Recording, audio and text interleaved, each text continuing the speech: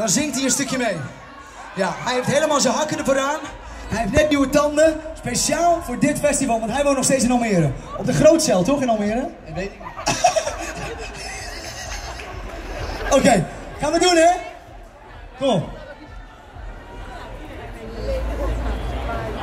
Met mijn handen in mijn haren denk ik nou over de keuzes die ik in mijn jonge leven heb gemaakt. Ik wil niet zeggen dat ik spijt heb, maar de blijkt mag te volgen en het heeft in een boel kapot gemaakt.